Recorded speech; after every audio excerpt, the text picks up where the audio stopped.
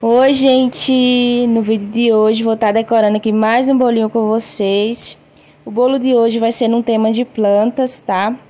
A minha cliente pediu esse bolo nesse tema, porque ela disse que a mãe dela adora plantas, né? Ama cultivar as plantinhas. Então ela me pediu o bolo nesse tema. E aqui estou eu fazendo, né, galera?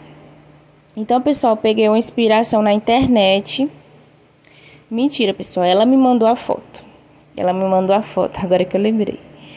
Aí a foto que ela me mandou é o bolo era todo branco, né? Com umas rosinhas aí no pé do bolo.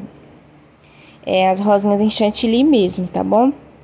Então eu já estou aí aplicando o chantilly por todo o meu bolinho. Apliquei nas laterais e agora eu tô ali aplicando na parte de cima do bolo. Agora eu vim com essa espátula aí alisando o topo do meu bolo, tá bom?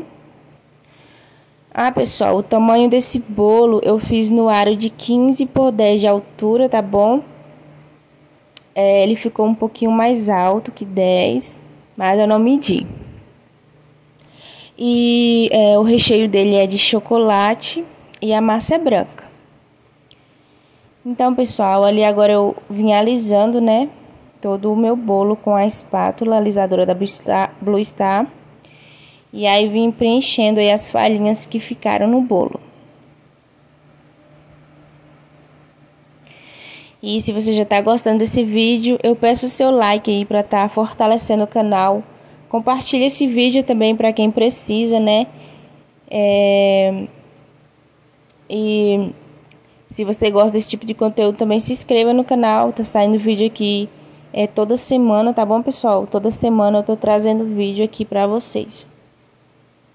Então, gente, eu vim fazendo essa textura aí no bolo, como vocês viram. Peguei aquela espátula de dentinhos e fiz a textura aí no bolo. E aí agora eu tô fazendo a quina do meu bolo, tá? Pra quinar o meu bolo, eu gosto de é, deixar uma vasilhinha aí do lado para mim umede umedecendo, quase não sai, umedecendo minha espátula, tá, gente? Que facilita bastante na hora de deixar as quinas bem perfeitinhas. Então, gente, ali como vocês viram, deu uma borrada ali, né, no, no bolo. É, esse paninho que eu boto aí na espátula, pra, na bailarina, para não estar tá deslizando o meu bolo acabou a espátula pegando nele e aí aconteceu esse, burrão aí. Mas o problema já resolvido ali, né? E voltamos aqui a alisar o bolo. Então ficaram as falhinhas aí, pessoal. Eu vim preenchendo para não ficar feio, né, gente? Para não ficar ali a textura sem é, para ficar bonito, né, no caso. para não ficar nenhuma falhinha na textura ali. Então, pessoal, eu alisei ali a, as laterais novamente. E agora eu vim com a espátula ali, porque subiu essa quininha ali. Eu queria deixar a quina bem, bem bonitinha, né? Prontinho. Agora, pessoal, eu vou fazer uma espiral ali, né, pra finalizar ali. E aí agora eu vou vir com a decoração aí no pezinho do bolo.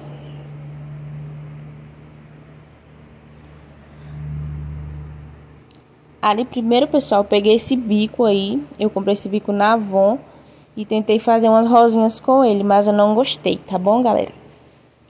As rosinhas ficou muito pequenininha e não gostei. Então eu vim com esse bico aí que eu sempre trabalho aqui. E aí sim, aí agora sim deu certo, tá? Esse biquinho aí, pessoal, ele é, é o bico que faz pitangas. E eu comprei ele num kit da Avon, então ele não tem numeração. É um bico bem simplesinho, né? Como vocês estão vendo, de plástico mesmo. Mas eu gosto muito dele.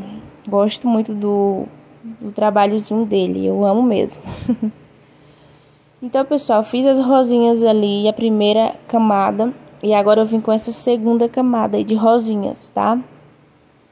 Pra fazer a rosinha bem facinho, a gente só aperta e gira, tá bom? E aí vai ficando as rosinhas aí bem legalzinho. Agora eu vim com esse bico ali folha. E vou fazendo ali as folhinhas nas rosinhas. A inspiração que a cliente me mandou tinha bastante folhinhas, então eu tentei deixar bem parecido com, com o que ela tinha me mandado.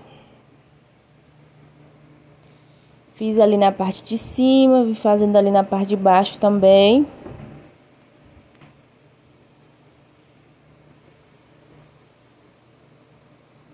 É isso aí, pessoal. Você não deixou o like, já deixa aí, tá bom, gente? Seu like aí é muito importante pro canal. Ali em cima eu joguei essas pérolazinhas, não tinha, tá, na inspiração, mas eu achei que ia ficar muito sem graça ali. E aí eu fui lá e joguei elas lá para dar um tchan a mais no bolo. Agora eu só vou finalizar aí o bolo com topper, tá bom? Ali na frente eu coloquei uma frasezinha. E ali agora eu vou colocar o nome da, da aniversariante. E os detalhes finais, tá, gente? Deixa aqui embaixo nos comentários o que é que você achou dessa decoração de bolo, tá? Pra me saber.